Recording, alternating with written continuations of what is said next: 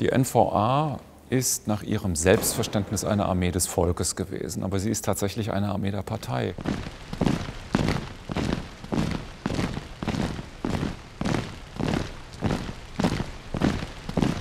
Der Dienst in der NVA ist ein kasernierter Dienst gewesen. Soweit, so gut. Das war es bei der Bundeswehr auch und das gilt für alle Armeen, erst recht für Wehrpflichtarmeen. Aber der Dienst bei der NVA ist von den Protagonisten als besonders einschränkend, besonders reglementierend empfunden worden. Die Soldaten der NVA mussten zu 85 Prozent präsent sein, die sogenannte Gefechtsbereitschaft. Das heißt, nur 15 Prozent können in Urlaub gehen, krankgeschrieben sein und ähnliches. Das bedeutet, dass die Soldaten nur sehr, sehr selten die Möglichkeit haben, nach Hause zu kommen. Im Durchschnitt vielleicht alle sechs bis acht Wochen. Es gibt auch Beispiele, dass Soldaten, die ganz normal Dienst gemacht haben, über viel längere Zeit nicht nach Hause gekommen sind. Für junge Männer, die andere Dinge im Kopf haben, als Dienst zu leisten, vielleicht ihre Freundin, äh, ihren Fußballverein, ihre Familie, ihr Hobby, eine ganz, ganz große Einschränkung. In der Bundeswehr hat man versucht, spätestens seit den 60er Jahren, beginnend und in den 70er, 80er Jahren systematisch das System der heimatnahen Einberufung durchzusetzen. Das heißt, junge Wehrpflichtige sollten möglichst da ihren Dienst versehen, wo sie auch herkamen. Das ließ sich nicht immer realisieren. Ähm, sie haben besonders ähm, dicht besiedelte Gebiete, äh, beispielsweise das Ruhrgebiet. Und dann haben sie den Bedarf an der innerdeutschen Grenze dann gehabt, also beispielsweise in Norddeutschland, die nicht so stark besiedelt werden. In der DDR gilt das in gewisser Hinsicht auch. Sie haben einen dichter besiedelten Südbereich, so Sachsen, Thüringen und einen weniger stark besiedelten im Norden. Aber trotzdem ist es natürlich widersinnig, wenn haufenweise Sachsen in Mecklenburg-Vorpommern in Mordschützenregimentern ihren Dienst leisten und gleichzeitig Menschen aus Mecklenburg-Vorpommern in Thüringen oder in Sachsen ihren Dienst leisten. Man wollte die Chance nutzen, junge Menschen anderthalb Jahre unter Kontrolle zu haben, auf sie einzuwirken und im Sinne der Staatsdoktrin zu besseren sozialistischen Persönlichkeiten, wie man das nannte, umzuerziehen.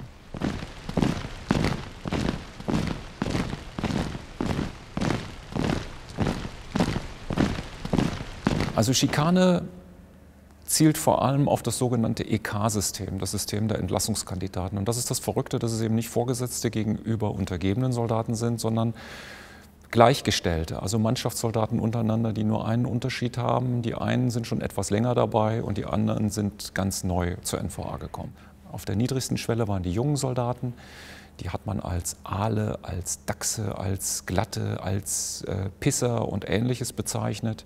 Im zweiten Diensthalbjahr, also praktisch in der Mitte ihrer Dienstzeit, sind sie dann aufgestiegen zum, sogenannte, zum sogenannten Vize oder mit ähnlichen ähnliche Bezeichnung für die Zwischenpisser, äh, die man für diese Soldaten hatte. Und dann im letzten Diensthalbjahr, in den letzten sechs Monaten, da war dann sozusagen die höchste Stufe dieser informellen Hierarchie erreicht. Da war der Soldat dann ein EK, ein Entlassungskandidat. Und die älteren Soldaten nahmen sich nun besondere Rechte heraus. Das musste nicht so sein, das war von Truppenteil zu Truppenteil sehr unterschiedlich, aber man kann sagen, es war ein flächendeckendes Phänomen. Es fand sich eigentlich in fast allen Bereichen der NVA. Und diese besonderen Privilegien, die sich die Älteren herausnahmen, die können für uns zum Teil ganz, ganz lustig und ganz lächerlich vielleicht auch klingen. Zum Beispiel, ähm, dass äh, die älteren Soldaten von den Jüngeren verlangten, ihnen die Betten zu bauen, das Essen zu bringen, den Schuhputz zu machen, vor allem das überhaupt nicht beliebte Revierreinigen zu übernehmen. Also das heißt, die Klos zu putzen und die Stuben zu putzen und den Boden zu wischen. Es gab auch ganz, ganz viel Schikane, viel seelischer Terror bis hin zu zugegeben wohl labilen Soldaten, die durch Schikanen im IK-Wesen, im Bewusstsein ihrer Kameraden ähm, in den Selbstmord getrieben wurden. Man könnte sich jetzt gut fragen, und wo sind da die Vorgesetzten geblieben? Die haben sich geflissentlich zurückgezogen, in den allermeisten Fällen. Es gab ganz, ganz selten Vorgesetzte, die dagegen auch wirklich vorgegangen sind. Die Fälle gab es auch, aber sie waren eben die Ausnahme. Wir wissen das deshalb so genau, weil die politische Hauptverwaltung, das heißt der Politarm der SED in der NVA, dieses Entlassungskandidatensystem seit Einführung der Wehrpflicht als eine sogenannte Bewegung, das heißt als ein flächendeckendes Phänomen identifizierte die Staatssicherheit übrigens genauso. Und das Interessante ist, obwohl die Vorgesetzten bis hin zur Leitung der NVA von diesem Problem wusste und bis zum Ende der NVA dieses Problems nicht Herr wurde, ist man nie dagegen vorgegangen. Die Vorgesetzten verließen abends, wenn der Dienst beendet war, und der Dienst war lang und hart, in der Regel fluchtartig die Kaserne, wenn sie konnten. Sie wollten einfach nur noch nach Hause. Sie kehrten der Kaserne den Rücken und die Soldaten in ihren Unterkunftsbereichen blieben sich selbst überlassen. Eigentlich hätten sie doch, um ihre eigene Autorität zu stärken, dieses EK-Wesen unterbinden müssen. Das haben sie aber ganz bewusst nicht gemacht, weil gegen Ende eines Turnus äh, einer, einer, einer, einer Wehrpflichtzeit normalerweise große Überprüfungen stattfanden. Das heißt, die Einheiten, die Verbände, die Kompanien wurden geprüft, ihnen wurden Gefechtsaufgaben gestellt und ähnliches. Und das war für die Vorgesetzten sehr, sehr wichtig, denn da standen sie auch zur Bewährung. Sie mussten dann auch zeigen, was sie können mit ihren Einheiten. Und da musste man sich auf die Entlassungskandidaten verlassen. Das waren die erfahrensten Soldaten und die erpressten ihre Vorgesetzten oft damit nach dem Motto, wenn ihr uns unser EK-Wesen nehmt, dann werden wir euch bei den Überprüfungen gegen die Wand fahren.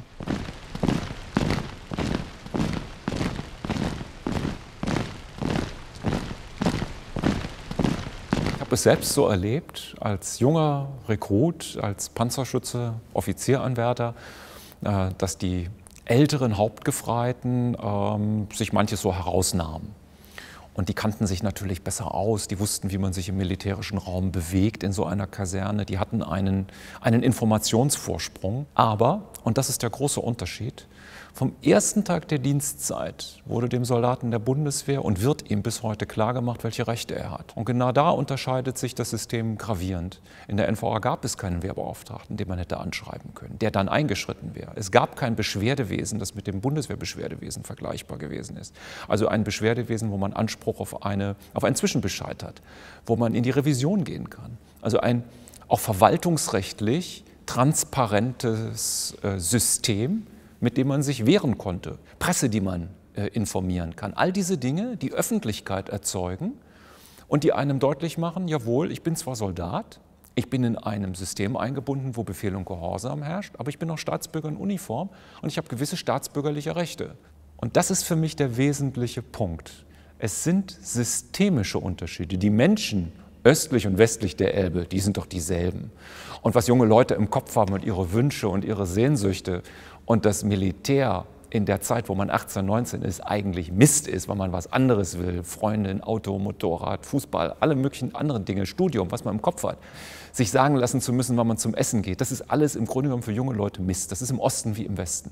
Aber der Unterschied ist, ob diese brisante Mischung junger Menschen, die in ihrem Freiheitsdrang, in ihrem Drang, sich individuell entfalten zu wollen, die da eingeschränkt werden, ob ich ihnen Möglichkeiten lasse, sozusagen Dampf abzulassen über eine Ventilfunktion, dass sie die Kaserne verlassen können, dass sie am Wochenende nach Hause gehen können. Gegen ein System, wo man einfach weiß, in diesen 18 Monaten bist du eigentlich wie weggesperrt. Und wenn du Pech hast, wenn du Pech hast, bist du rechtlos.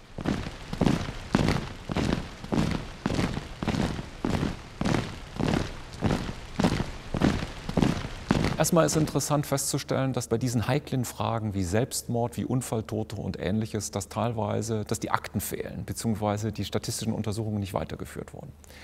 Aber interessant ist, das Jahr 1964, 65 scheint wirklich das gewesen zu sein, wo es die meisten Unfalltoten gab. Bei Übungen, bei Großmanövern vor allem. Es gibt viele Gründe dafür, vor allem Nicht-Einhalten von Sicherheitsvorschriften, überzogener harter Drill sicherlich, das sogenannte kriegsnahe Ausbilden, das bis an die Grenze getrieben wurde. Aber interessant ist, dass die Bundeswehr zum gleichen Zeitpunkt, 1964, 65, fast genauso viele Unfalltote hatte. Nur sie war dreimal so groß. Die Unterschiede sind doch eklatant. Und sie sind noch viel größer, wenn wir uns so Zahlen angucken, wie zum Beispiel Nötigungen von Vorgesetzten, wenn wir uns Zahlen angucken wie ähm, beispielsweise Körperverletzungen oder ähnliches. Da hat die NVA einen absoluten Spitzenwert. Also wir können davon ausgehen, dass in den 60er Jahren so etwa 8.000 bis 10.000 nachweislich, also aktenurkundig nachweisliche Formen von Körperverletzungen nachzuweisen sind. Das ist enorm viel.